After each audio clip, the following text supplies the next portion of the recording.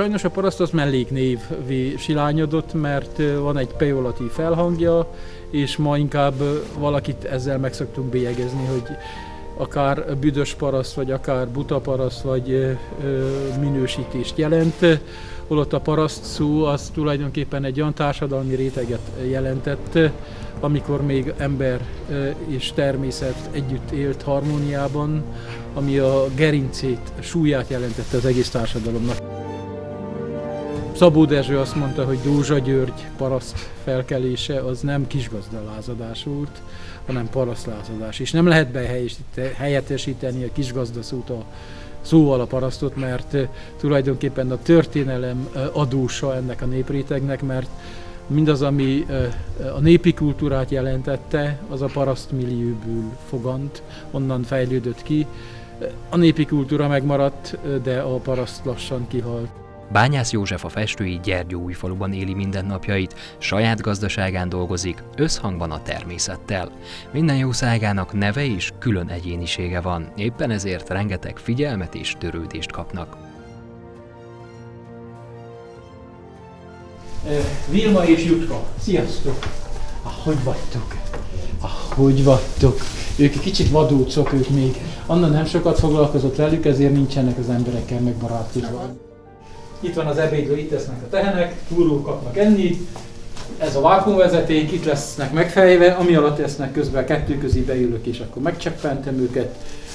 Víztükörből isznak, tiszta vizet, általában naponta megisznak 3-4 ilyen kád vizet. Egy tehén általában annyi liter ö, vizet kell megigyon, ahány liter tejet ad, annyiszor 10 liter vizet, bocsánat, úgyhogy akár 100 liter vizet is megiszik egy nap.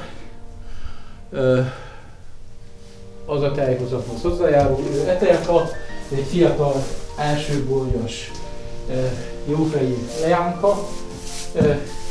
Az első laktációban körülbelül 6000 liter tejet adott szelíd jámborlény. Külön egyéniség. Mindenkinek nálunk a teheneknek neve van. Jószágaira szánt figyelme jól látható, mi több, ízlelhető, hiszen Bányász József tehénei nem csak szépek, hanem igencsak finom tejet adnak, amiből minőségi sajt készül. Tejbányát, a megnevezést az a családnevünk hozza, bányász a vezetéknevem, és akkor a lányom kitalálta, hogy ha már bányász, akkor minden lehetne a tejből is kibányászni, mindazt az eszenciát, rejtett e, nyomelemeket, ásványanyagokat, amik a tej tárnáinak a mélyén rejtőznek, és akkor így, így együtt élünk ezzel a gondolattal, e, súlyozzuk a szónak a jelentését, lehet, hogy egy pár ezer év múlva majd rá is találunk az igazi lényegére. Úgyhogy sajt az tejkonzerv, ha prózaiabban akarom kifejezni magamat, tulajdonképpen a tejben lévő ásványanyagok, nyomelemek, fehérje, zsír, makroelemek koncentrátuma, a gyártás folyamán tulajdonképpen elválasszuk a szárazanyagot a folyadéktól, ami hátra marad az a savú, az tartalmaz még bizonyos fehérje típusokat és laktózt, tejcukrot. A sajtba e, tulajdonképpen koncentrálódik az a fehérje, ami e, egy hosszabb érlelés után e, izgalmas ízvilágot ad a sajtnak. A guruk azt mondják, hogy karaktert. Ez mai sajt, általában napi 20-30 kg, 10-20 kg sajton van, annak függvényében, hogy mennyi tejen van.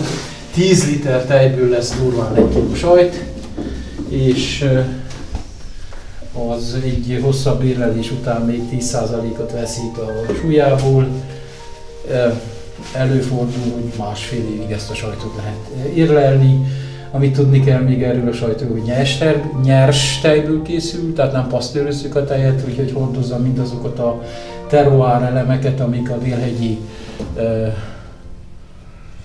vulkanikus közegből, vagy a közegen termett fűből, szénából koncentrálódnak, illetve a nagyhagymás mészkőtalajából.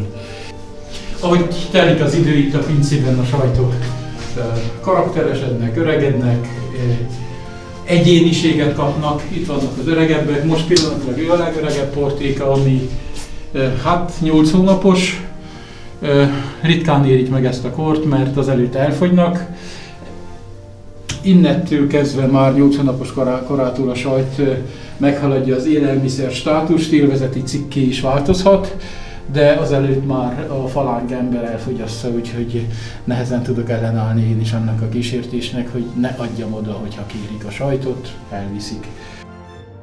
Rohanó világunkban kétségkívül kihaló félben van az a féle paraszt, amely egykoron társadalom gerince volt. Hogy van-e visszaút, változhat-e ez, arra választ nem adhatunk, de azt elmondhatjuk, hogy Bányász József története és élete különleges. Együtt a természettel, együtt jószágaival, együtt önmagával, és talán ez a legfontosabb.